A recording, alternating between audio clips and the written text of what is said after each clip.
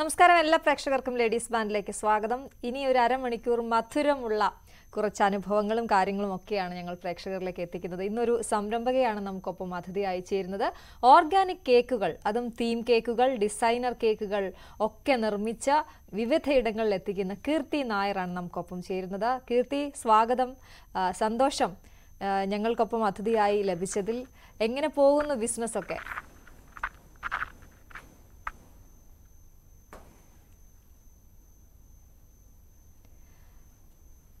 കീർത്തി കേൾക്കാമോ? ആ കേൾക്കാം കേൾക്കാം. കേൾക്കാം. എങ്ങനെ എങ്ങനെയുണ്ട്? ബിസിനസ് ഒക്കെ എങ്ങനെ പോകുന്നു? വളരെ വളരെ നന്നായിട്ട് തന്നെ.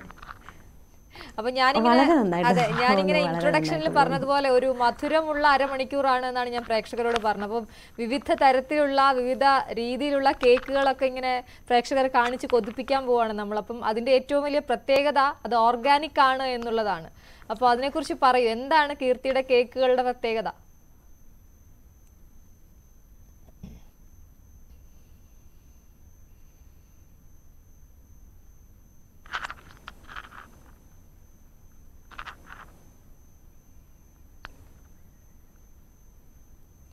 കീർത്തി കേൾക്കാമോ? ഞാൻ പറയുന്നത് നിങ്ങൾ കേൾക്കാതെ ഉണ്ടോ?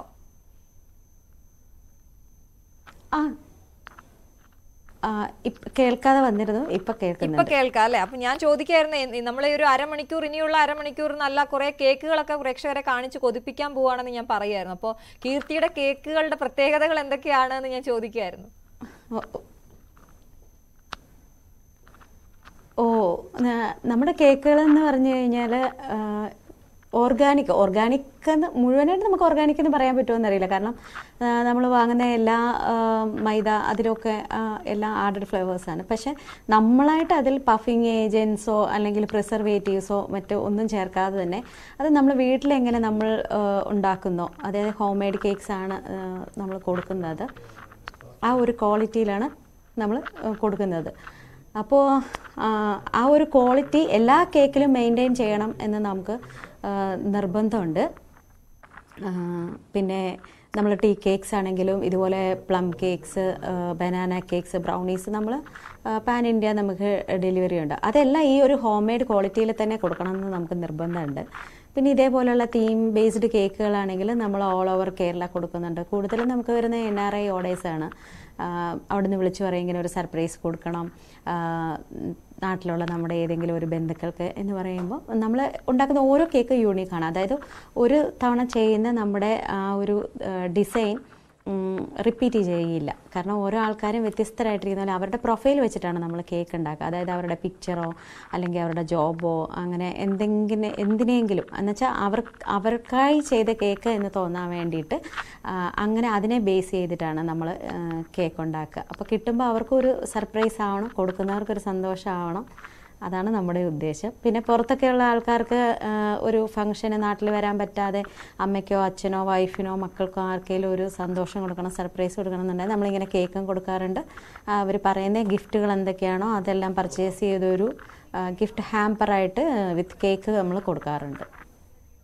അതാണ്. അപ്പൊ നമ്മളെപ്പോഴും ഈ സർപ്രൈസുകൾ ഒരുപാട് ഇഷ്ടപ്പെടുന്നവരാണ്. അതുകൊണ്ട് തന്നെ ഈ കേക്കിന്റെ കാര്യം പറയുമ്പോൾ നമുക്കിപ്പോൾ ഞാൻ ദൃശ്യങ്ങളിൽ പ്രേക്ഷകരെ കാണിക്കും. ഈ ഓരോ തീം കേക്കുകളാകുമ്പോൾ അത് ബർത്ത്ഡേക്കാകട്ടെ വേറെ എന്ത് ആഘോഷത്തിനാണെങ്കിലും ആ തീം കേക്കുകൾ എന്ന് പറയുമ്പോൾ അത് വളരെ പ്രിയപ്പെട്ടതാണ്. അത് വളരെ രസകരവുമാണ്. അപ്പോൾ അതിൽ നമ്മളായിട്ട് കൂടുതൽ മായമൊന്നും ചേർക്കാതെ അത് ഓർഗാനിക് ആയിട്ട് അല്ലെങ്കിൽ ഹോം മെയ്ഡ് കേക്കായിട്ട് നിങ്ങളുടെ മുന്നിലേക്ക് എത്തുമ്പോൾ അത് വളരെ സന്തോഷമുള്ള കാര്യമാണ്. അതിനെ നമുക്ക് വിശ്വസിച്ച് കഴിക്കാവുന്ന കേക്കുകൾ. അത് നമുക്ക് കുഞ്ഞുങ്ങൾക്കായാലും അവരുടെ ഇഷ്ടപ്പെട്ട അവരുടെ സൂപ്പർ ഹീറോസിന്റെ അവരുടെ ഇഷ്ടപ്പെട്ട പെറ്റിന്റെ അങ്ങനെയൊക്കെ ഉള്ള കേക്കുകൾ നിർമ്മിച്ച് നൽകുന്നു എന്നുള്ളതാണ് കീർത്തിയുടെ പ്രത്യേകത. മറ്റൊരു പ്രത്യേകത കീർത്തി ഈ കേക്കിന്റെ ലോകത്തേക്ക് എത്തുന്നത് അത് വളരെയധികം വലിയൊരു യാത്രയാണ്. കീർത്തിയുടെ ആ യാത്രയിലേക്ക് കൂടി നമ്മൾ പോകണം. നമ്മൾ ഓരോ സംരംഭകരെയും പ്രേക്ഷകർക്ക് പരിചയപ്പെടുത്തുമ്പോൾ അവരുടെ അവർ വന്ന വഴി അവരുടെ യാത്ര അതുകൂടി നിങ്ങളിലേക്ക് എത്തിക്കുന്നത്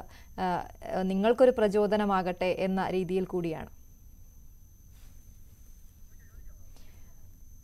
കീർത്തി ഞാൻ പറഞ്ഞതുപോലെ കീർത്തിയുടെ ആ യാത്ര കൂടി ഞങ്ങൾക്കറിയണം. Keerthi B S C nursing പഠിച്ച ഒരാളാണ് നേഴ്സായിരുന്ന ഒരാളാണ്. എങ്ങനെയാണ് ഈ ഒരു രംഗത്തേക്ക് വന്നത്?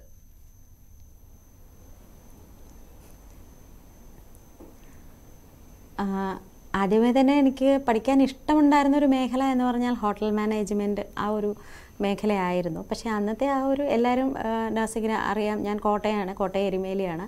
അപ്പോൾ എല്ലാവരും അന്നത്തെ ആ ഒരു സമയത്ത് നഴ്സിംഗ് ആണ് പ്രിഫർ ചെയ്തുകൊണ്ടിരുന്നത്. പെട്ടെന്ന് പുറത്ത് പോകാം ജോലി കിട്ടും. പിന്നെ യൂറോപ്യൻ കൺട്രീസിൽ പോവാം. അങ്ങനെ ആ ഉള്ളൊരു രീതിയിൽ ഞാനും എല്ലാവരും പോയ പോലെ തന്നെ കോട്ടയത്തെ ഒരു സാധാരണ പെൺകുട്ടി ആ ടൈമിൽ ചെയ്തിരുന്ന പോലെ ഞാനും നഴ്സിങ്ങിന് പോയി. അങ്ങനെ ബി എസ് സി നഴ്സിംഗ് ആയിരുന്നു. അത് അത് കഴിഞ്ഞെങ്കിലും എനിക്ക് ആ- ഒരു പ്രൊഫഷനോട് ഇഷ്ടം ഉണ്ടെങ്കിലും പക്ഷേ എപ്പോഴും നമുക്ക് വേറൊരു ഒരു ഇഷ്ടം ഉണ്ടായിരിക്കുമല്ലോ. നമ്മളൊരു ജോലി ചെയ്യുമ്പോൾ നമുക്കൊരു സാറ്റിസ്ഫാക്ഷൻ കിട്ടുന്ന ഒരു ജോലി ഉണ്ടാവുമല്ലോ. അപ്പോൾ അങ്ങനെ വന്നപ്പോൾ ശരിക്കും മക്കൾക്ക് വേണ്ടിയിട്ടാണ് ഞാൻ ബേക്കിംഗ് സ്റ്റാർട്ട് ചെയ്തത് കുഞ്ഞുങ്ങളുണ്ട്. അതിനു മുമ്പ് ഞാൻ ബേക്ക് ചെയ്തിട്ടുണ്ടായിരുന്നു. ജസ്റ്റ് ഒരു ഒരു എന്താ പറയുന്നത് വീട്ടിലൊക്കെ അങ്ങനെ ജസ്റ്റ് ഒന്ന് ബേക്ക് ചെയ്തൊക്കെ നോക്കിയിട്ടുണ്ട്. അന്ന് ഓവനൊന്നും നമ്മുടെ വീട്ടിലുണ്ടായിരുന്നില്ല. അല്ലാതെയൊക്കെ കുക്കറിന്റെ ഉള്ളിലൊക്കെ വെച്ചിട്ടാണ് ആദ്യമായിട്ട് ഞാൻ ബേക്ക് ചെയ്ത് നോക്കിയിട്ടുള്ളത്.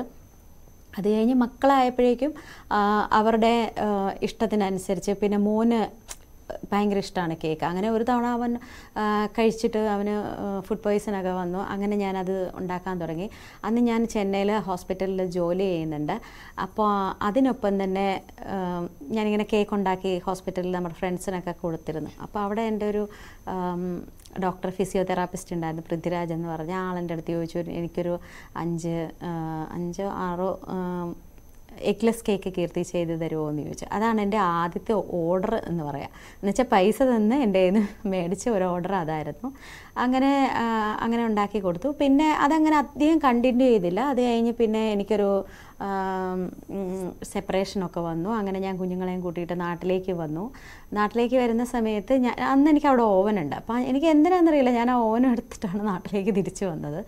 തിരിച്ചു വന്നു. ഇവിടെ നാട്ടിൽ ജോലിക്ക് കയറി നഴ്സിങ്ങിന് കയറി എന്ന് പറഞ്ഞാൽ കുഞ്ഞുങ്ങൾ തീരെ ചെറിയ കുട്ടികളാണ്. അവർ ട്വിൻസാണ് മോനും മോളും. അപ്പോൾ ചെറിയ കുട്ടികളായിരുന്നു മൂന്ന് വയസ്സൊക്കെ ഉണ്ടാവുള്ളൂ. അപ്പോൾ ഇവരെ നിർത്തിയിട്ട് ജോലിക്ക് പോകുന്നത് എനിക്ക് വലിയൊരു ബുദ്ധിമുട്ടായിരുന്നു. രണ്ടുപേരെ തന്നെ വീട്ടിൽ നിന്ന് അച്ഛനമ്മയുടെ ഒപ്പം നിർത്തിയിട്ട്. അങ്ങനെ എന്നാലും ഞാൻ ജോലിക്കൊപ്പം തന്നെ ബേക്കിങ്ങും കണ്ടിന്യൂ ചെയ്തു. ഇതുപോലെ ആദ്യം അവിടെ ചെറുതായിട്ട് സ്റ്റാർട്ട് ചെയ്തു. അങ്ങനെ ഹോസ്പിറ്റലിൽ നമ്മുടെ സ്റ്റാഫൊക്കെ കുറച്ച് കുറച്ചായിട്ട് വാങ്ങിക്കാൻ ബർത്ത്ഡേസിനൊക്കെ അങ്ങനെ വാങ്ങിക്കാൻ തുടങ്ങി. പിന്നെ ആ സമയത്ത് ജോലി ചെയ്തുകൊണ്ടിരിക്കുന്ന സമയത്ത് തന്നെ ഞാൻ കേക്കുകൾ നൈറ്റ് ഡ്യൂട്ടി ആണെങ്കിൽ പകൽ ഞാൻ കേക്ക് ഉണ്ടാക്കും. അതേപോലെ തന്നെ തിരിച്ചും. പിന്നെ അന്ന് എരുമേലിൽ ഡിപ്പോ സ്റ്റാർട്ട് ചെയ്തായിരുന്നു. K S R T C depot start ചെയ്തിട്ടുണ്ടായിരുന്നു. അപ്പോൾ ഞാൻ കേക്കുകളും കൊണ്ട് ട്രിവാൻഡ്രം വരെയൊക്കെ പോയിട്ടുണ്ട്. അവിടുന്ന് ഞാൻ എറണാകുളത്തിന് വന്നിട്ടുണ്ട്. രാവിലെ കേക്ക് ഉണ്ടാക്കി രാവിലെ എറണാകുളത്ത് അതിരാവിലെ എറണാകുളത്ത് കൊണ്ട് കൊടുത്തിട്ട് തിരിച്ചു പോയി. ഞാൻ ഉച്ച കഴിഞ്ഞ് ഡ്യൂട്ടിക്ക് കയറും അങ്ങനെ ഞാൻ ജോലി ചെയ്തിട്ടുണ്ട്. എനിക്ക് ഭയങ്കര ഒരു പാഷനും കൂടായിരുന്നു എന്നുവെച്ചാൽ ഓരോ തരത്തിൽ എനിക്ക് തോന്നുന്നു ഇപ്പോൾ ഒരു പത്ത് വർഷം പത്ത് വർഷം എന്തോ ആയിട്ടുണ്ട്. ആ ഒരു സമയത്തൊന്നും ആരും ഇങ്ങനെ ഡിസൈനർ കേക്ക് അങ്ങനത്തെ സംഭവങ്ങളൊന്നും അധികം ചെയ്തിട്ടില്ല. പിന്നെ എനിക്ക് സോഷ്യൽ മീഡിയ വഴി ഞാൻ ഇത് സ്റ്റാർട്ട് ചെയ്തത് ഇങ്ങനെ. അപ്പോൾ തന്നെ എനിക്കത് ഒത്തിരി സപ്പോർട്ട് കിട്ടി. ഒത്തിരി ആൾക്കാർ ഇത് ഭയങ്കര ഡിഫറെന്റ് ആണല്ലോ എന്നുള്ള രീതിയിൽ ഇത് ചെയ്യാൻ തുടങ്ങി. പിന്നെ എനിക്കിങ്ങനെ ഈ ഇത് ഇതിൽ ഇതിൽ ഓരോ രൂപങ്ങൾ ഇങ്ങനെ മേക്ക് ചെയ്ത് വെക്കുമല്ലോ അതിനുള്ളൊരു കഴിവുണ്ട് എന്നുള്ളത് എനിക്ക് സത്യം പറഞ്ഞാൽ ഈ കേക്ക് ഞാൻ സ്റ്റാർട്ട് ചെയ്യുന്നവരെ എനിക്ക് അറിയില്ലായിരുന്നു. പെട്ടെന്നൊരു ദിവസം എനിക്ക് തോന്നിയതാണ്. ഞാൻ എവിടേക്കോ ഇത് കണ്ടിട്ടുണ്ട്. പണ്ട് ഏതൊക്കെയോ എഫ് ബിയിലെ തന്നെ യൂറോപ്യൻ ചാനൽസിൽ അങ്ങനെ എന്തൊക്കെ ആയിരിക്കാം. ഇംഗ്ലീഷ് ചാനൽസിൽ എന്തൊക്കെ ഇങ്ങനെ ഞാൻ കേക്കുകൾ ഉണ്ടെന്ന് ഞാൻ കണ്ടിട്ടുണ്ട്. പക്ഷേ ഇത് എവിടെ നിന്ന് കിട്ടും? ഇതിന്റെ മെറ്റീരിയൽസ് എവിടെ നിന്ന് കിട്ടും? അങ്ങനെ അതിനെപ്പറ്റി ഒന്നും എനിക്കൊരു ഐഡിയ ഞാൻ ബേക്കിംഗ് പഠിച്ചിട്ടേ ഇല്ല. അപ്പോൾ എനിക്കിത് എവിടെ നിന്ന് കിട്ടുമോ എങ്ങനെ ചെയ്യും? പക്ഷേ പിന്നെ അതിന്റെ പുറകെ പോയി ആ ഒരു പാഷന്റെ പുറകെ പോയി ഞാൻ ഓരോരുത്തരുടെ പുറകെ പോയി ഇതെങ്ങനെയാണ് ഇതെങ്ങനെയാണ് ചെയ്യുന്നത് പിന്നെ ഞാൻ ചെയ്ത് ചെയ്ത് പഠിച്ച ഒരാളാണ്. അല്ലാതെ എനിക്ക് ഇങ്ങനെ ഗുരു ഉണ്ട് എന്ന് നമുക്ക് പറയാൻ പറ്റത്തില്ല. അല്ലെ എനിക്കിത് ഇന്നത് ഇങ്ങനെ പഠിപ്പിച്ചു തന്നെ ഞാനിങ്ങനെ എന്റെ പാഷൻ ആയതുകൊണ്ട് വർക്ക് ചെയ്ത് വർക്ക് ചെയ്ത് പഠിച്ച ഒരാളാണ്. അങ്ങനെ ഇങ്ങനെ തീം കേക്ക് നമ്മൾ ചെയ്ത് കഴിഞ്ഞപ്പോൾ ആൾക്കാർക്ക് അതിലൊരു പുതുമ തോന്നി. പിന്നെ ടേസ്റ്റ് അതിൽ നമ്മൾ ഒരു കോംപ്രമൈസും ചെയ്യാറില്ല. ഏറ്റവും ക്വാളിറ്റി പ്രോഡക്റ്റ്സ് വെച്ചിട്ടേ നമ്മൾ ചെയ്യാറുള്ളൂ. അങ്ങനെയാണ് ബേക്കിങ്ങിൽ എത്തി നിൽക്കുന്നു. ഇവിടെ എത്തി നിൽക്കുന്നു. അതാണ്. കീർത്തി ഞാൻ നേരത്തെ ഈ സർപ്രൈസുകളുടെ കാര്യം പറയുമ്പോൾ നമുക്ക് ഈ സർപ്രൈസ് കിട്ടുന്ന ആൾക്കും ഇഷ്ടമാണ്. അതുപോലെ തന്നെ ഇതിനൊരു മീഡിയമായി നിൽക്കുന്ന ആൾ ആ നേരിട്ട് ആ എക്സ്പ്രഷൻ അവരുടെ ആ ഒരു സന്തോഷവും അവരുടെ ഒരു അത്ഭുതവും ഒക്കെ കാണാൻ പറ്റുന്നത് നമുക്കാണല്ലോ. അപ്പോൾ K S R T C ബസ്സിൽ വരെ കേക്കുമായിട്ട് പോയി ഓർഡർ കൊടുത്തിട്ടുള്ള ആളായതുകൊണ്ട് ഞാൻ ചോദിക്കുക അങ്ങനെ മറക്കാൻ പറ്റാത്ത എന്തെങ്കിലുമൊക്കെ അനുഭവങ്ങൾ ഉണ്ടായിട്ടുണ്ടോ? ഇപ്പം അമ്മയ്ക്കായി മകൻ കൊടുത്തു വിട്ട സമ്മാനം. അങ്ങനെയുള്ള അനുഭവങ്ങൾ ഞങ്ങളുമായിട്ടൊന്ന് പങ്കുവയ്ക്കാമോ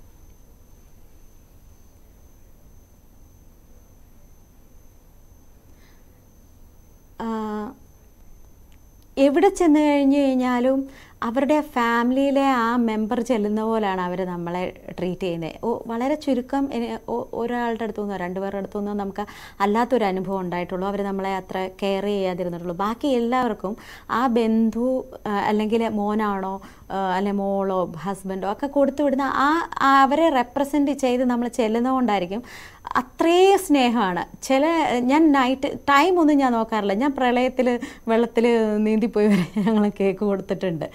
നമ്മൾ ഒരു ഓർഡർ എടുത്തു കഴിഞ്ഞാൽ അത് എങ്ങനെ നമ്മൾ അവിടെ എത്തിച്ചിരിക്കും? ഏത് വിധത്തിലും. കൊറോണ ടൈമിൽ പോലും ഞാൻ കേക്ക് എത്തിച്ചിട്ടുണ്ട്.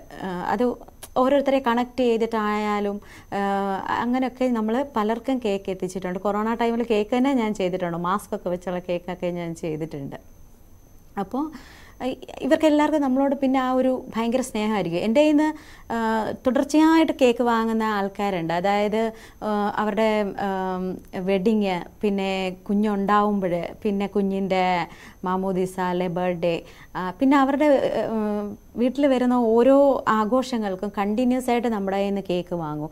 അതേപോലെ തന്നെ പ്ലം കേക്ക് ആണെങ്കിൽ ബനാന കേക്ക് ഇതെല്ലാം ഞാൻ എന്റെ എഫ് ബിയിലോ അല്ലെങ്കിൽ ഇൻസ്റ്റയിലാണ് അപ്ഡേറ്റ് ചെയ്യുക. ഇങ്ങനെ ഇന്ന് ഇന്ന ദിവസം ഇന്ന ഓർഡർ എടുക്കുന്നുണ്ട് എന്ന് പറയുന്നു. അപ്പോൾ തന്നെ എനിക്ക് ഓർഡർ ഇടും.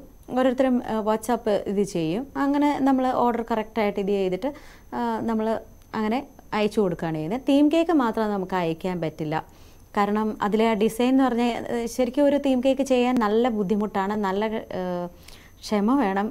കാണുമ്പോൾ അറിയാമല്ലോ അത് ഇതെല്ലാം ഹാൻഡ് വർക്കാണ് ഒന്നുപോലെ നമ്മൾ അല്ലാതെ ചെയ്യുന്നില്ല അത് ഫുൾ ആൻഡ് ഫുൾ ഹാൻഡ് വർക്കാണ് ഇതൊരു ഫാമിലിക്ക് വേണ്ടി ചെയ്തതാണ് അച്ഛനും അമ്മയും മൂന്ന് കുട്ടികളും ഒക്കെ. എന്ന് വെച്ചാൽ അവരെ അപ്പോൾ അത് അവർക്ക് കാണുമ്പോൾ അത് അവരുടെ ഫാമിലിയാണ് ഇത് ഞങ്ങളാണ് അല്ലെ ഇത് എനിക്ക് വേണ്ടി ചെയ്തതാണ് എന്ന് തോന്നിപ്പിക്കുക എന്നുള്ളതാണ് നമുക്ക് സന്തോഷം അവർക്ക് കാണുമ്പോൾ അവരുടെ കണ്ണിൽ കാണുന്നൊരു ഒരു സർപ്രൈസ് അത്ഭുതമൊക്കെ ഉണ്ടല്ലോ. ആ അത് കാണാൻ നമുക്ക് ഭയങ്കര ഇഷ്ടമാണ് അപ്പം ഞാൻ ഇങ്ങനെ പുതിയ പുതിയ മോഡൽ ചെയ്തുകൊണ്ടിരിക്കും.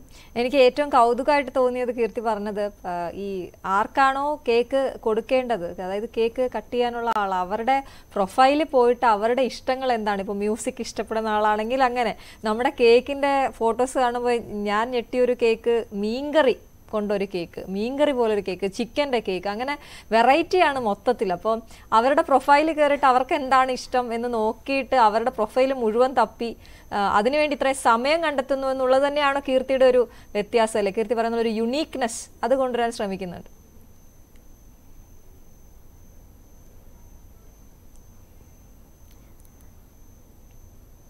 അതെന്ന് പറഞ്ഞാൽ ഒരു ഒരു സന്തോഷമാണ്. എന്ന് വെച്ച് കഴിഞ്ഞാൽ എന്താ പറയുന്നത് ഒരു കേക്ക് ആയി വരുമ്പോൾ എനിക്ക് ചിലപ്പോൾ ഞാൻ മനസ്സിൽ ഉദ്ദേശിക്കുന്ന ഡിസൈൻ ആവുന്നവരെ ഞാൻ വർക്ക് ചെയ്തുകൊണ്ടിരിക്കും. പക്ഷേ ചിലപ്പോൾ ഞാൻ മനസ്സിൽ ഉദ്ദേശിക്കുന്നതായിരിക്കത്തില്ല. ആയി വരുമ്പോൾ ചിലപ്പോൾ അതിനേക്കാളും പെർഫെക്റ്റ് ആയിരിക്കും. ചിലപ്പോൾ ഞാൻ ആലോചിക്കാറുണ്ട് എനിക്കിത് ചെയ്യാൻ പറ്റുമോ എന്ന് ഞാനിങ്ങനെ ആലോചിച്ച് കഴിഞ്ഞാലും പക്ഷേ അത് ചെയ്ത് ചെയ്ത് വരുമ്പോൾ അതിന്റെ ഔട്ട്കം ഞാൻ വിചാരിച്ചതിനേക്കാളും ചിലപ്പോൾ ഭംഗിയായിട്ടുണ്ടാവും. അതെങ്ങനെയാണെന്ന് ചോദിച്ചു കഴിഞ്ഞാൽ എനിക്കിപ്പോഴും അറിയില്ല അതെങ്ങനെയാണ് അങ്ങനെ വരുന്നതെന്നുള്ളത് എനിക്കറിയില്ല. ഞാൻ ഇങ്ങനെ രൂപങ്ങൾ ചെയ്യും എന്നുള്ളതിനെ പറ്റിയും സത്യത്തിൽ എനിക്കറിയില്ലായിരുന്നു. അത് എന്തോ നമ്മുടെ ഉള്ളിലുള്ള അങ്ങനെ ഉറങ്ങിക്കിടന്ന ഒരു ഒരു കഴിവാണെന്നോ വല്ലതും പറയാം. കാരണം അതിനു മുമ്പ് ഞാൻ അങ്ങനെ ഈ സ്കൾപ്ചറോ അങ്ങനത്തെ പരിപാടികൾക്കോ ഒന്നും ഞാൻ അങ്ങനെ ഇത് നിന്നിട്ട് ചെയ്തിട്ടില്ല. ജസ്റ്റ് വീട്ടിലിങ്ങനെ ബോട്ടിലൊക്കെ കൊച്ചിലെ എന്തൊക്കെയോ ചെയ്യുമായിരുന്നു എന്നല്ലാതെ ഈ- ഒരു ഇതിലേക്ക് എനിക്കിത് കൊണ്ടുവരാൻ പറ്റും ഈ ഒരു ലെവലിലേക്ക് വരാൻ പറ്റും എന്നുള്ളതൊന്നും ഞാൻ ഒരിക്കലും വിചാരിച്ചിട്ടില്ല. അപ്പോൾ ഓരോ ഇപ്പോൾ ഈ പറഞ്ഞ മീൻ കറി കേക്കാണെങ്കിൽ അതൊരു ഞാൻ ചോദിച്ചു എന്താണ് പുള്ളിക്കാരിക്ക് ഏറ്റവും ഇഷ്ടം? പുള്ളിക്കാരിക്ക് ആണ് ഇഷ്ടം. ഫുഡ് ഉണ്ടാക്കി എല്ലാവർക്കും കൊടുക്കുന്നതാണ് ഇഷ്ടം എന്ന് പറഞ്ഞു. ഓക്കെ പുള്ളിക്കാരിയുടെ സ്പെഷ്യൽ എന്താ? ആ അത് മീൻ കറി നന്നായിട്ട് വെക്കും എന്ന് പറഞ്ഞു. ആ ഓക്കെ എന്നാൽ പിന്നെ മീൻകറി ചെയ്ത് നോക്കാം. ഇത് അപ്പം ഞാൻ അവരോട് ഇന്നതെന്നൊന്നും പറയില്ല. കാരണം എന്നെ വിളിച്ച് പറയുമ്പോൾ അവർക്കറിയാം എന്തെങ്കിലും സ്പെഷ്യൽ ആയിരിക്കും കിട്ടുന്നതെന്നറിയാം. പക്ഷേ തീം എന്തായിരിക്കും എന്ന് മോസ്റ്റ്ലി എന്നോട് ആരും ചോദിക്കാറില്ല. ചിലരെ ചോദിക്കാറുള്ളൂ. കാരണം അവർക്ക് അറിയാം വിളിക്കുന്നവർക്ക് അറിയാം മാക്സിമം ഇവർ എന്റെ സോഷ്യൽ മീഡിയ ഇത് കണ്ടിട്ടായിരിക്കും എന്നെ കോൺടാക്ട് ചെയ്യുന്നത്. അപ്പോൾ അവർക്കറിയാം ഒരു കേക്കിന് വേണ്ടി ഞാൻ എത്ര എഫോർട്ട് എടുക്കും. അല്ലെങ്കിൽ ഞാനത് ഏറ്റവും പെർഫെക്റ്റ് ആയിട്ടേ ചെയ്ത് ഞാൻ എത്തിക്കുകയുള്ളൂ എന്നുള്ളത് അറിയാവുന്നതുകൊണ്ടായിരിക്കും. മോസ്റ്റ്ലി ആരും എന്നോട് അങ്ങനെ ചോദിക്കാറില്ല. കീർത്തി തന്നെ ഡിസൈൻ ചെയ്ത് കീർത്തി തന്നെ എങ്ങനെയാണെന്ന് വെച്ചാൽ ചെയ്തു എന്ന് പറയും. അപ്പോൾ അങ്ങനെ ഒരു ഫ്രീഡം കിട്ടുന്നത് നല്ലതാണ്. കറക്റ്റ് ഇന്ന പോലെ തന്നെ ഉണ്ടാക്കണം എന്ന് പറഞ്ഞ് വരുന്നവരുടെ അടുത്ത് ഞാൻ പറയാറുണ്ട് എനിക്ക് അങ്ങനെ ഉണ്ടാക്കാൻ പറ്റില്ല. കാരണം ചിലപ്പോൾ അത് വേറൊരാൾ ചെയ്തതായിരിക്കും ചിലപ്പോൾ ഞാൻ തന്നെ ചെയ്തായിരിക്കും. ഞാൻ തന്നെ ചെയ്താണെങ്കിൽ പോലും എനിക്ക് അതുപോലെ പിന്നെ എനിക്ക് ഉണ്ടാക്കാൻ എനിക്ക് അറിയില്ല. കാരണം എന്തോ എനിക്ക് അങ്ങനെ എഗെയിൻ അതേപോലെ ഒരെണ്ണം ഉണ്ടാക്കാൻ പറ്റുന്നത് ചിലപ്പോൾ ഞാൻ ഉണ്ടാക്കുമായിരിക്കും പക്ഷേ എനിക്കത് ഭയങ്കര ഒരു മടുപ്പാണ്. അതുകൊണ്ട് ഞാൻ വളരെ കുറച്ച് തവണ എന്തോ ഡിസൈൻ റിപ്പീറ്റ് ചെയ്തിട്ടുള്ളൂ. ഒന്ന് രണ്ടോ തവണ. മാക്സിമം പോയാൽ ഫൈവ് ടൈംസ് ചെയ്തിട്ടുണ്ടായിരിക്കും. അതിൽ കൂടുതൽ ഞാൻ റിപ്പീറ്റ് ചെയ്തിട്ടില്ല. അതും നമ്മുടെ കസ്റ്റമേഴ്സ് നിർബന്ധിച്ചാൽ മാത്രമേ അങ്ങനെ ചെയ്യാറുള്ളൂ. ഇല്ലെങ്കിൽ നമ്മൾ ഇതുപോലെ പറഞ്ഞ പോലെ അവരുടെ പ്രൊഫൈലിൽ കയറി മുഴുവൻ നോക്കി അങ്ങനെ ഇരുന്ന് നല്ല എഫേർട്ടുണ്ട് ഇതിലൊക്കെ. നമ്മൾ ഓരോ പിക്ചേഴ്സ് നോക്കി. ഇപ്പോൾ ഈ മീൻകറിയിലാണെങ്കിൽ ആ കടുകും ഇലകളും അങ്ങനെ ഒരു മീൻ കറിയുടെ പിക്ചർ എടുത്ത് വെച്ച് നോക്കി അങ്ങനെ ആയിരിക്കും ഇത് ഓരോന്ന് ചെയ്യുന്നത്. പിന്നെ നമ്മുടെ ഈ ക്ലൈമറ്റ് ഭയങ്കര ഒരു വില്ലനാണ് കേക്കാണല്ലോ അറിയാമല്ലോ അത് മെൽറ്റ് ആവുന്ന ഒരു പ്രശ്നമുണ്ട്. അത് ഫോണ്ടന്റ് ആണെങ്കിലും ബട്ടർ ക്രീം ആണെങ്കിലും ഒക്കെ നമ്മുടെ കാലാവസ്ഥയ്ക്ക് പെട്ടെന്ന് മെൽറ്റ് ആവും. അപ്പോൾ അതൊക്കെ ശ്രദ്ധിച്ചിട്ട് വേണം നമ്മൾ ഈ ഡിസൈൻ ചെയ്യാൻ. നമ്മൾ ഈ ക്ലേ കൊണ്ട് ചെയ്യുന്ന അത്ര എളുപ്പത്തിൽ ഫോണ്ടന്റ് വെച്ചിട്ടോ ഇങ്ങനൊന്നും നമുക്ക് ചെയ്തെടുക്കാൻ പറ്റില്ല. നമ്മുടെ കൈയുടെ ചൂട് കൂടിയാൽ പോലും ഫോണ്ടന്റ് മെൽറ്റാവും അപ്പോൾ ഇതൊക്കെ നല്ല ടാസ്ക്കാണ് ശരിക്കും. പിന്നെ ഒരു പാഷൻ ആ ഒരു അതിനോട് അത്രയൊരു ഇഷ്ടമുള്ളത് കൊണ്ട് എന്ത് റിസ്ക് എടുത്തും. ചെയ്യും. ഇങ്ങനെ ഈ ഭയങ്കര വിജയിച്ച കേക്കുകൾ ഓർമ്മയിൽ നിൽക്കുന്നത് ഏതാണ്? ഒപ്പം പാളിപ്പോയ കേക്കുകളുണ്ടോ? ഇപ്പം നാളെ കൊടുക്കേണ്ട കേക്ക് ഇന്ന് ചെയ്ത് തീരാറാവുമ്പോഴേക്കും അത് പാളിപ്പോകുന്നു തോന്നുന്നു എന്നൊക്കെ പറഞ്ഞ റിസ്ക് ഫാക്ടർ ഉണ്ടല്ലോ. അതുമുള്ളൊരു മേഖലയാണല്ലോ. അപ്പം അങ്ങനെ വല്ല അനുഭവം ഉണ്ടോ? പിന്നെ എനിക്ക് ചോദിക്കാനുള്ള നമ്മൾ ദൃശ്യങ്ങളിൽ കാണുന്ന കേക്കുകളിൽ ഒരെണ്ണത്തിൽ എഴുതിയിട്ടുണ്ട്. എന്റെ ഞങ്ങളുടെ പ്രിയപ്പെട്ട മുതലാളിക്ക്. എന്നിട്ട് സൈഡിൽ എഴുതിയിരിക്കുന്ന ഒരു ഒരു ചായ രണ്ട് വട ഒരു കേക്ക് എന്നൊക്കെ എഴുതിയിട്ടുണ്ട്. അതൊക്കെ സ്വന്തം ഐഡിയ തന്നെയായിരുന്നു.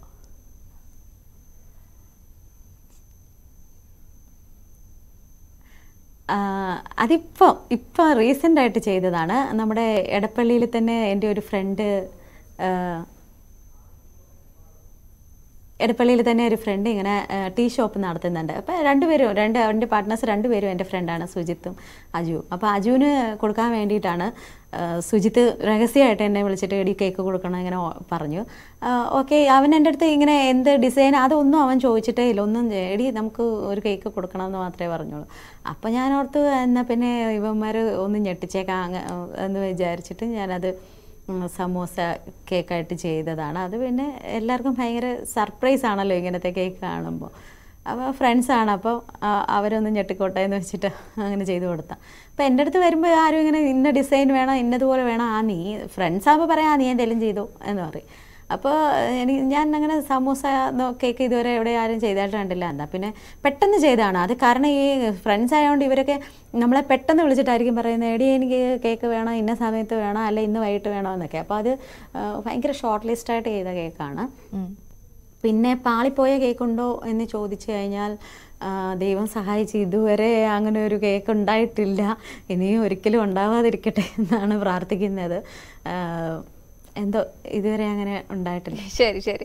ഞാനിപ്പോൾ പറയായിരുന്നു ഒരു സംരംഭക എന്ന് പറഞ്ഞാൽ പെട്ടെന്ന് ഒരു സുപ്രഭാതത്തിൽ അങ്ങ് സംരംഭക ആകുന്നില്ല അവരുടെ ഒരു പടിപടിയായിട്ടാണല്ലോ ഉയർച്ച. അപ്പം കീർത്തിയുടെ കാര്യമാണെങ്കിൽ കീർത്തി സോഷ്യൽ മീഡിയയിൽ വളരെയധികം സജീവമായിട്ടുള്ള ഒരാളാണ്. പല കാര്യങ്ങൾക്കും പെട്ടെന്ന് പ്രതികരിക്കുന്ന റെസ്പോണ്ട് ചെയ്യുന്ന ആളായിട്ട് കണ്ടിട്ടുണ്ട് ഞാൻ. എന്റെ ഫ്രണ്ട് കൂടിയാണ് കീർത്തി. അപ്പോൾ ഞാൻ ചോദിക്കുന്നത് ഈ കീർത്തിയുടെ ഒരു ക്യാരക്ടർ വെച്ചിട്ട് പല ബിസിനസ്സുകളും ചെയ്തിട്ടുണ്ടല്ലോ. പലതും പരീക്ഷിച്ചിട്ട് ഇപ്പൊ എത്തി നിൽക്കുന്ന ഒരിടം ഇതാണ് എന്റെ ഇടം എന്ന് തോന്നിയോ ഈ സമയത്ത്?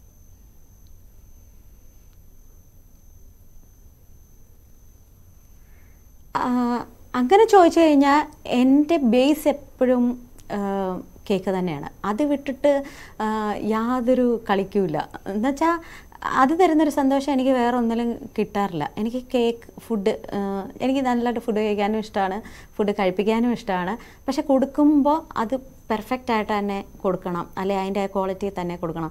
കാരണം നമ്മുടെ അടുത്ത് ഒത്തിരി ഫ്രാഞ്ചൈസി ഇപ്പം ഞാൻ പത്ത് വർഷം പത്ത് വർഷത്തിന് മേലെ എന്ന് പറഞ്ഞല്ലോ. ഒത്തിരി പേര് ഫ്രാഞ്ചൈസി ചോദിച്ചു വരുമ്പോൾ ഉള്ള എന്റെ പേടി എന്താണെന്ന് വെച്ച് കഴിഞ്ഞാൽ നമ്മളങ്ങനെ കൊടുത്തു കഴിഞ്ഞാൽ അവർ അതെങ്ങനെ ഉണ്ടാക്കി പിന്നെ ഇത് ചെയ്യും മാർക്കറ്റ് ചെയ്യുന്നുള്ളത് നമുക്കറിയില്ല. അപ്പോൾ നമ്മുടെ ക്വാളിറ്റി നഷ്ടപ്പെട്ട് കഴിഞ്ഞാൽ നമ്മൾ ഇത്രയും നാളെ ഞാൻ ബിൽഡ് ചെയ്തുകൊണ്ട് വന്ന എന്റെ ഒരു ഒരു ഇതിനെ ബാധിക്കുമോ എന്നുള്ളൊരു ഭയങ്കര പേടി കൊണ്ടാണ് നമ്മൾ അങ്ങനെ ഒരു ഇതിൽ ഇതുവരെ കൊടുക്കാതിരുന്നിട്ടുള്ളത്. പിന്നെ പിന്നെ ഞാൻ ചോദിച്ച ചോദ്യം പരീക്ഷിച്ച് നോക്കിയ ബിസിനസ്സുകൾ അതിനെക്കുറിച്ച് കൂടി ഒന്ന് പറയൂ. സംസാരിച്ചൊന്ന് കണക്ഷൻ വിട്ടുപോയി ആ ഓക്കെ ഓക്കെ. സോറി ഞാൻ ഇടയ്ക്ക് വിട്ടുപോയി. ഞാൻ അങ്ങനെ. പിക്ചർ നോക്കിയിരുന്നു. പിന്നെ ഇതിനിടയ്ക്ക് ഈ കൊറോണ ടൈമിൽ തന്നെ കൊറോണ ടൈമിൽ തന്നെ ഞാൻ മറ്റേ മീൻകറി മസാല സ്റ്റാർട്ട് ചെയ്തിട്ടുണ്ടായിരുന്നു. അതെന്ന് വെച്ച് കഴിഞ്ഞാൽ അന്ന് ആൾക്കാർക്ക് പിന്നെ പുറത്തിറങ്ങാൻ പറ്റത്തില്ല. ഹോസ്റ്റലിലൊക്കെ ഉണ്ടായിരുന്ന കുട്ടികൾ അവിടെ പെട്ടുപോയി. അപ്പോൾ ഒരു മീൻചട്ടി മാ ഒരു പാത്രം മീൻചട്ടി എന്നല്ല ഒരു പാത്രം മാത്രം ഉണ്ടെങ്കിൽ എങ്ങനെ മീൻകറി വെക്കാം? അങ്ങനെയാണ് ആലോചിച്ചത്. അത് ഞാൻ വീട്ടിൽ ചെയ്തുകൊണ്ടിരുന്ന പരിപാടിയാണ്. എളുപ്പത്തിന് ഇങ്ങനെ ചെയ്ത് മസാല വെച്ച് ഇടയ്ക്ക് ഫ്രിഡ്ജിലൊക്കെ കയറ്റി വെക്കുമായിരുന്നു. സമയം കിട്ടാതെ വരുമ്പോൾ. കോട്ടയം സ്റ്റൈൽ മീൻകറി മസാലയാണ് റെഡ് കളർ വരുന്നത്. അപ്പോൾ അങ്ങനെ ചെയ്യാറുണ്ട്. അത് കഴിഞ്ഞിട്ട് പിന്നെ എനിക്ക് എപ്പോഴെങ്കിലും തോന്നുമ്പോഴായിരിക്കും ഞാൻ ഇത് പിന്നെ എടുത്ത് ഒന്നുകൂടെ ചൂടാക്കി മീൻ വെട്ടിക്കഴുകി അതിനകത്തിട്ട് തിളപ്പിച്ച് അങ്ങനെ എടുക്കുന്നത്. അപ്പോൾ ഞാൻ ഓർത്ത് ഇത് കൊള്ളാം. ഇത് നമുക്ക് അങ്ങനെ ഇതാക്കിയാലോ എന്ന് വെച്ചാൽ അന്ന് നമുക്ക് പുറത്തിറങ്ങാൻ പറ്റാത്ത സമയമായതുകൊണ്ട് ഞാൻ ഈ എന്താ പറയുന്നത് ഓൺലൈൻ ഫിഷ് ഇത് ഉണ്ടായിരുന്നു. ഒത്തിരി ഇതുണ്ടായിരുന്നു അന്ന് എഫ് ബി വഴിയൊക്കെ. അപ്പോൾ അവരെ കോണ്ടാക്ട് ചെയ്തു. അങ്ങനെ അവർ നമ്മുടെ അടുത്തു നിന്ന് മീൻ മസാല എടുക്കും. അപ്പം നോക്കിക്കഴിഞ്ഞാൽ ഇവരുടെ അടുത്ത് നിന്ന് വെട്ടിക്കഴുകിയ മീനും കിട്ടും ഈ മീൻ മസാലയും കിട്ടും. ജസ്റ്റ് കട്ട് ചെയ്ത് ഒരു ഹാഫ് ലിറ്റർ വെള്ളത്തിലിട്ട് തിളപ്പിച്ച് മീനും കൂടി ഇട്ടാൽ അരമണിക്കൂറിൽ ഒന്നും കടുക് കറിവേപ്പില അങ്ങനെ ഒന്നും ചേർക്കണ്ട. അങ്ങനെ പെർഫെക്റ്റ് ആയിട്ട് മീൻ കറി കിട്ടും. അങ്ങനെ അതുണ്ടായിരുന്നു. പിന്നെ അതിൽ നല്ല വർക്കാണ്. മെയിൻ നമ്മുടെ കേക്ക് ആയതുകൊണ്ട് അതൊരു ടൈം കഴിയുമ്പോൾ എനിക്ക് മടുക്കും. ഇങ്ങനത്തെ ചില ചില ഇത് എനിക്ക് പെട്ടെന്ന് മടുക്കും. പക്ഷേ അത്രയും കാലം ഞാനത് ഓടിച്ചു. പിന്നെ അത് കഴിഞ്ഞിട്ട് നമ്മൾ റിസോർട്ടിന്റെ ഇതിലേക്ക് പോയിരുന്നു മൂന്നാർ അതും കുറേ നാൾ അതിൽ വർക്ക് ചെയ്തു. അതും ഇങ്ങനെ നിൽക്കുന്നു. ആ ആ ഒരു രീതിയിൽ ഇപ്പം നിൽക്കുന്നു. ഞാൻ അത്രയ്ക്ക് അതിലോട്ട് അങ്ങോട്ട് ഇൻവോൾവ് ആയി. കാരണം എല്ലാം നമ്മൾ ചെയ്തു വരുമ്പോൾ ഈ കേക്കിൽ നിന്ന് ഞാൻ മാറിപ്പോണ്ടി വരും. ഇതിനിടയ്ക്ക് ഞാൻ കാറ്ററിംഗ് തുടങ്ങിയായിരുന്നു. കാറ്ററിംഗ് നടത്തിയിരുന്നു. അതിന് ഭയങ്കര ഓർഡറുകൾ കൂടി വന്നപ്പോൾ പിന്നെ അത് നിർത്തി. കാരണം എനിക്ക് മാനേജ് ചെയ്ത് കൊണ്ടുപോകാൻ വളരെ ബുദ്ധിമുട്ടാണ്. നമ്മൾ അന്ന് ഫുഡ് കൊടുത്തിരുന്നത് മീനും എഗ്ഗും എല്ലാം ഉൾപ്പെടെ നമ്മൾ എൺപത് രൂപയ്ക്കാണ് ഞാൻ പൊതിച്ചോറ് കൊടുത്തുകൊണ്ടിരുന്നത്. അപ്പോൾ അങ്ങനെ നമുക്ക് ഭയങ്കരമായിട്ട് ഓർഡർ ഉണ്ട് ഇപ്പോഴും ആൾക്കാർ വിളിച്ച് ചോദിക്കാറുണ്ട് ആ ഫുഡുണ്ടോ? പൊതിച്ചോറുണ്ടോ എന്ന് ചോദിക്കാറുണ്ട്. പക്ഷേ അതിൽ ഭയങ്കര വർക്കാണ്. നമുക്ക് ഒരാൾക്ക് മാത്രം ഓർഡർ കൂടുമ്പോൾ നമുക്ക് ഒരാൾക്ക് മാത്രമായിട്ട് അത് മാനേജ് ചെയ്ത് കൊണ്ടുപോകാൻ വളരെ ബുദ്ധിമുട്ടായിരിക്കും. പിന്നെ സേഫ് സോൺ എന്ന് പറയുന്നത് എപ്പോഴും എനിക്ക് എന്റെ കേക്ക് തന്നെയാണ്. ഈ കേക്കിൽ നിന്ന് കിട്ടുന്ന ഒരു സന്തോഷം എനിക്ക് വേറെ ഒന്നും കിട്ടത്തില്ല. അതെ അപ്പം ഗിഫ്റ്റുകളുടെ കാര്യം കൂടി പറയണം. ഗിഫ്റ്റുകളും ഇതുപോലെ ആളുകളിലേക്ക് എത്തിക്കുന്നുണ്ട്. ഇപ്പം കഴിഞ്ഞ തവണയാണെങ്കിൽ അതായത് വ്യത്യസ്തമായ ഗിഫ്റ്റുകൾ അല്ലെ? ഓരോ സീസണൽ ആയിട്ടുള്ള ഗിഫ്റ്റുകൾ എത്തിക്കുന്നുണ്ടെന്ന് പറഞ്ഞു. അപ്പോൾ അതിനെക്കുറിച്ച് കൂടി പറയാം അതിന്റെ ഒരു ഐഡിയ എങ്ങനെയായിരുന്നു കിട്ടിയത്? ഇപ്പോഴും അത് തുടരുന്നുണ്ടോ?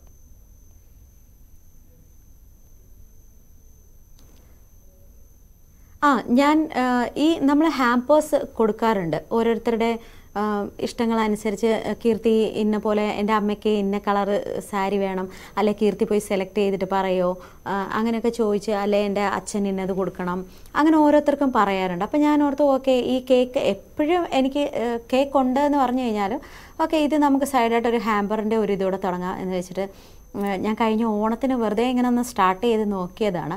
അപ്പോൾ എന്റെ സിസ്റ്റർ എന്ന് പറഞ്ഞാൽ എന്നെ ഭയങ്കര സപ്പോർട്ടാണ് അപ്പോൾ ഞങ്ങളിങ്ങനെ പരസ്പരം ഡിസ്കസ് ചെയ്യും. നെക്സ്റ്റ് നമുക്ക് എന്ത് ചെയ്യാം? അല്ലെ നെക്സ്റ്റ് ഞാൻ എന്ത് ചെയ്യണം എന്നൊക്കെ. അപ്പോൾ അവൾ പറഞ്ഞു നീ ഒരു ഹാമ്പർ കൂടെ നീ സ്റ്റാർട്ട് ചെയ്ത് നോക്ക്. എങ്ങനെ ഉണ്ടെന്ന് നോക്കുക എന്ന് പറഞ്ഞു. ഞാൻ വളരെ ലിമിറ്റഡ് ആയിരുന്നു എടുത്തത് എനിക്ക് തോന്നുന്നു ഒരു തേർട്ടി പാക്സ് എന്തോ ഞാനത് ചെയ്തു എടുത്തു വെച്ചിട്ടുണ്ടായിരുന്നുള്ളൂ. പക്ഷേ ഓർഡറുകൾ അതിനേക്കാൾ ഒത്തിരി എനിക്ക് കൂടുതൽ വന്നു. ഞാനത് ചെയ്ത എന്താണെന്ന് വെച്ചാൽ തൗസൻഡ് തൊട്ട് ഇത് സ്റ്റാർട്ട് ചെയ്തു. കാരണം എല്ലാ മനുഷ്യർക്കും വളരെ ഇത്രയും ഒരു വലിയൊരു എമൗണ്ട് കൊടുത്ത് വാങ്ങാൻ പറ്റത്തില്ലല്ലോ. പക്ഷേ ആ ഒരു വിഷുക്കാലത്ത് ഒരു ഗിഫ്റ്റ് കൊടുക്കണം എന്ന് തോന്നുന്നവർക്ക് അതൊരു തൗസൻഡ് റുപ്പീസ് തൊട്ട് ഞാൻ സ്റ്റാർട്ട് ചെയ്തു. Thousand two thousand five hundred പിന്നെ സിക്സ് തൗസൻഡ് വരെ ഉണ്ടായിരുന്നു അതിന്റെ. അങ്ങനെ കുറേ പേരത് വാങ്ങിച്ചിട്ടുണ്ടായിരുന്നു. അതപ്പോൾ പെട്ടെന്ന് തന്നെ സക്സസ് ആയി. അപ്പോൾ അതിനി ഒരു ഓൺലൈനിൽ തന്നെ അതൊരു പ്ലാറ്റ്ഫോമാക്കി ഇപ്പോൾ നമുക്ക് ഓണത്തിനും സെയിം തന്നെ ഒരു പാക്ക് വരുന്നുണ്ട്. അപ്പോൾ ഈ പുറത്തൊക്കെ ഉള്ള ആൾക്കാർക്കാണെങ്കിലും ഇത് തന്നെ എന്റെ കയ്യിൽ നിന്ന് ഗൃഹപ്രവേശത്തിനൊക്കെ ആൾക്കാർ വാങ്ങിച്ചിരുന്നു. എല്ലാ കൂട്ടുകാരാ എന്റെ ഈ കസ്റ്റമറായിട്ട് വന്നിട്ട് ഫ്രണ്ട്സായി മാറുന്നവരാണ് കൂടുതലും. പിന്നെ ചിലർ എഫ് ബി വഴി വന്ന് ഫ്രണ്ടായി മാറി പിന്നെ കസ്റ്റമേഴ്സ് ആവുന്നവരും ഉണ്ട്. ഈ എല്ലാത്തരം ആൾക്കാരും എപ്പോഴും നമ്മൾ ഈ ഓൺലൈനിൽ സജീവമായിട്ടിരിക്കുന്നതുകൊണ്ട് അവർക്കറിയാം. അപ്പോൾ ഇങ്ങനെ എന്നെ വിളിച്ച് പറയുള്ളൂ ഇങ്ങനെ ഒരെണ്ണം സെറ്റ് ചെയ്ത് വെക്കണം ഞാൻ എടുത്തോളാം എന്ന് പറയും. അപ്പം നമ്മളിതിൽ ബ്രാസ് ഐറ്റംസ് കേരള തനിമയുള്ള സാധനങ്ങളാണ് ചെയ്തു കൊടുത്തിരുന്നത് പിന്നെ ഇത് മാത്രമല്ല ഏത് തരം ഹാമ്പർ നമ്മളുടെ അടുത്ത് പറഞ്ഞു കഴിഞ്ഞാലും നമ്മളത് കളക്ട് ചെയ്ത് ചെയ്ത് എവിടെയാണെന്ന് വെച്ചാൽ നേരിട്ട് കൊണ്ട് കൊടുക്കേണ്ടതാണെങ്കിൽ അങ്ങനെ ചെയ്യാം. അതല്ല നമ്മൾ അയക്കുന്ന ടൈപ്പ് ആണെങ്കിൽ നമുക്ക് അങ്ങനെ അയക്കുകയും ചെയ്യാം. സേഫായിട്ട് എത്തും. ഓക്കെ. നേരത്തെ ഒന്ന് ജസ്റ്റ് പറഞ്ഞു പോയി മകന്റെയും മകളുടെയും കാര്യം. ട്വിൻസ് ആണ്. അപ്പൊ അവരുടെ ഒരു സപ്പോർട്ട് എങ്ങനെയാണ്? അമ്മ പല പല ബിസിനസ് അവരുടെ മുമ്പിൽ നോക്കുമ്പോൾ അമ്മ പല പല ബിസിനസ് പയറ്റുന്നു. പക്ഷെ കേക്ക് വിടുന്നില്ല. കേക്കിൽ അവരുടെ സപ്പോർട്ട് എങ്ങനെയാണ്? ഇപ്പോൾ എത്രയിലായി? അവർ അവരെ കുറിച്ച് പറയൂ.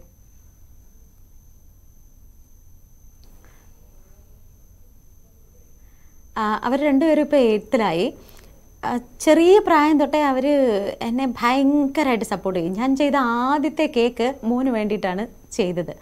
പക്ഷേ ഫസ്റ്റ് കേക്ക് അന്ന് കപ്പളവ് അങ്ങനെ കപ്പ് മെഷർ ചെയ്തെടുക്കാൻ അതൊന്നും എനിക്ക് അറിയില്ല അപ്പോൾ വീട്ടിലിരിക്കുന്ന കപ്പൊക്കെ വെച്ചിട്ടാണ് അഡ്ജസ്റ്റ് ചെയ്തുണ്ടാക്കിയത് പക്ഷെ അത് പാളിപ്പോയി. പാളിപ്പോയി അവൻ കുഞ്ഞായിരുന്നു തീരെ കുഞ്ഞായിരുന്നു മൂന്ന് വയസ്സേ ഉള്ളൂ. പക്ഷെ കഴിച്ചിട്ട് പറഞ്ഞു സൂപ്പർ അമ്മ സൂപ്പറാന്ന് പറഞ്ഞു. ഓ ബാക്കി എല്ലാവരും പറഞ്ഞെങ്കിലും അവൻ അത് പറഞ്ഞ കേട്ടപ്പോൾ ഭയങ്കര ഒരു സന്തോഷം. അവൻ ഭയങ്കരമായിട്ട് ഫുഡ് എന്നെ പോലെ തന്നെ അവന് കുക്ക് ചെയ്യാൻ ഭയങ്കര ഇഷ്ടമാണ് കഴിക്കാൻ ഇഷ്ടമാണ് അപ്പോൾ അവനാണ് അന്ന് തൊട്ട് ഭയങ്കര സപ്പോർട്ടാണ് മോൾ തീരെ കഴിക്കത്തില്ല. ഒന്ന് അവൾക്ക് ഫുഡ് തന്നെ വേണമെന്നില്ല. നിർബന്ധിക്കാതിരുന്നാൽ മാത്രം മതി. അപ്പോൾ ഇവൻ അങ്ങനെയാണ് കേക്ക് കൂടുതൽ ഇവന് ഇവന്റെ ഇഷ്ടത്തിന് വേണ്ടിയിട്ടാണ് കുക്കിംഗ് ഇപ്പോൾ പോലും ഞാൻ ഇഷ്ടത്തോടെ എന്തെങ്കിലും കയറി കുക്ക് ചെയ്യുന്നുണ്ടെങ്കിൽ എനിക്ക് കിച്ചണിൽ കുക്ക് ചെയ്യുന്നതിനോട് അത്ര വലിയ താല്പര്യമുള്ള ആളല്ല.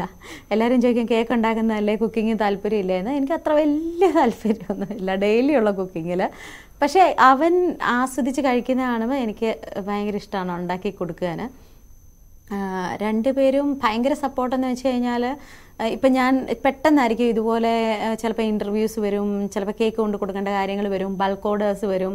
ചിലപ്പോൾ പെട്ടെന്നായിരിക്കും വിളിച്ചിട്ട് കീർത്തി ഇന്നടത്ത് ഒരു കേക്ക് കൊടുക്കണമെന്ന് പറയുന്നത്. അപ്പം ഞാൻ ആ ഒരു സമയത്ത് ചിലപ്പോൾ ഞാൻ ഇറങ്ങിപ്പോവും അവരൊരു നാലഞ്ച് വയസ്സ് തൊട്ടേ അവർ അവരുടെ കാര്യങ്ങൾ നോക്കാനും അല്ലെ അമ്മ പൊക്കോ ഞങ്ങൾ ചെയ്യാം അല്ലെ ഞങ്ങൾ സേഫ് സേഫായിട്ടിരിക്കും എന്ന് പറഞ്ഞാൽ അത്രയും സപ്പോർട്ട് ചെയ്യും. ഇപ്പോൾ ആണെങ്കിൽ വന്നു കഴിഞ്ഞാൽ ആദ്യം ചോദിക്കും ഞാൻ നല്ല ത്രൂ ഔട്ട് വർക്ക് ചെയ്തുകൊണ്ടിരിക്കുകയായിരിക്കും അപ്പോൾ അവർക്കറിയാം ഞാൻ കഴിച്ചിട്ടുണ്ടാവില്ല എന്നറിയാം. അപ്പോൾ തന്നെ പോയി എന്തെങ്കിലും ജ്യൂസ് അതുപോലെ എന്തെങ്കിലും ഉണ്ടാക്കി കൊണ്ടുതരും.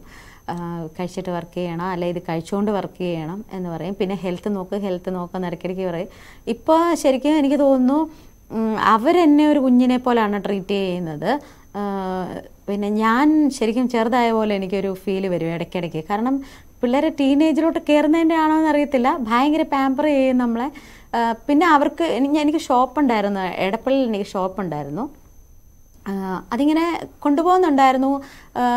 എന്റെ ജോലി വീട്ടിൽ ഉണ്ടാക്കി ഷോപ്പിലാണ് കൊടുത്തുകൊണ്ടിരുന്നത് അപ്പോൾ ഞാൻ പോയി രാവിലെ പോയി പത്ത് മണിയൊക്കെ ആവും തിരിച്ചു വരുമ്പോൾ. പിന്നെ നമുക്ക് ഒരു ഷോപ്പ് നടത്തുക എന്ന് പറഞ്ഞാൽ നല്ലൊരു ബേർഡനും കൂടാണ്. അറിയാമല്ലോ ഇപ്പോഴത്തെ ഒരു അവസ്ഥ വെച്ചിട്ട്. അപ്പോൾ അതിന്റെ ഒപ്പം തന്നെ ഇവർ സാധാരണ കൊച്ചു കുഞ്ഞുങ്ങൾക്കാണ് നമ്മളെപ്പോഴും അടുത്ത് വേണ്ടത്. പക്ഷേ ഇവരെന്ന് പറഞ്ഞു കഴിഞ്ഞാൽ അങ്ങനെയല്ല. ഇപ്പോൾ ടീനേജ് ആയപ്പോഴാണ് അമ്മ അടുത്ത് വേണം. ഞങ്ങൾ വീട്ടിൽ വരുമ്പോൾ അമ്മ ഇവിടെ ഇല്ലല്ലോ. എന്നൊക്കെ പറയുന്നത്. അപ്പോൾ അങ്ങനെ നോക്കിയപ്പോൾ ഞാൻ ഓർത്തു ഓക്കെ അവർ ഇപ്പം മിസ് ചെയ്യുന്നുണ്ട് എന്നെ. ഇപ്പം ഞാൻ അവർക്ക് ഇനി ടൈം കൊടുത്തില്ല. അവർ അവരുടെ കുട്ടിക്കാലം ഒരുമാതിരി ഒരു ടൈം മുഴുവൻ എനിക്ക് തന്നു. ഇനി ഞാൻ അവർക്ക് ടൈം കൊടുത്തില്ലെങ്കിൽ ഇനി അവർ കുറച്ച് കാലം കഴിഞ്ഞ് പഠിക്കാനായിട്ട് പലയിടത്തേക്ക് പോയി കഴിയുമ്പോൾ ഞാൻ റിഗ്രറ്റ് ചെയ്തിട്ട് കാര്യം ഉണ്ടാവില്ല. അയ്യോ എനിക്ക് അവരെ നോക്കാൻ പറ്റിയില്ലല്ലോ. അല്ലെങ്കിൽ എനിക്ക് അവരോട് ഇരിക്കാൻ പറ്റിയില്ലല്ലോ. അവർക്ക് ഇഷ്ടമുള്ളത് ചെയ്തു കൊടുക്കാൻ പറ്റിയില്ലല്ലോ. എന്നുള്ളൊരു വിഷമം ഉണ്ടാവണ്ടെന്ന് വെച്ചിട്ടാണ് ഇപ്പോൾ ഉള്ള ടൈം ബേക്കിംഗ് ഇപ്പോൾ വീട്ടിലായതുകൊണ്ട് ഫുൾ ടൈം പിന്നെ ഈ ഇടയ്ക്ക് ഡെലിവറി ചില കാര്യങ്ങൾ ഞാൻ തന്നെ ഡെലിവറിക്ക് പോകാറുണ്ട് പിന്നെ കീർത്തി ഒരുപാട് ഒരുപാട് സംസാരിച്ചു. പക്ഷെ നമ്മൾ സമയം ഇവിടെ പൂർണമാവുകയാണ്. ഉള്ള ഇതേ ഉള്ളൂ. നന്നായിട്ട് അങ്ങോട്ടും ഇങ്ങോട്ടും രണ്ടുപേരും കുഞ്ഞുങ്ങളായാലും കീർത്തി ആയാലും ബ്ലസ്ഡ് ആണ് എന്ന് മനസ്സിലായി അവരെ കുറിച്ച് പറഞ്ഞപ്പോൾ എന്തായാലും വളരെയധികം നന്ദി ഞങ്ങൾക്ക് അതിഥിയായി എത്തിയതിനൊപ്പം എല്ലാവിധ ആശംസകളും. ഒരുപാട് നല്ല കേക്കുകൾ ഇനിയും ഉണ്ടാക്കാൻ കഴിയട്ടെ. ഒരുപാട് പേരുടെ സന്തോഷത്തിന്റെ ഭാഗമാകാൻ കീർത്തിക്ക് കഴിയട്ടെ. ലേഡീസ് ബാൻഡ് ഇവിടെ പൂർണമാവുകയാണ്. മറ്റൊരു അതിഥിയുമായി വീണ്ടും കാണാം. നമസ്കാരം.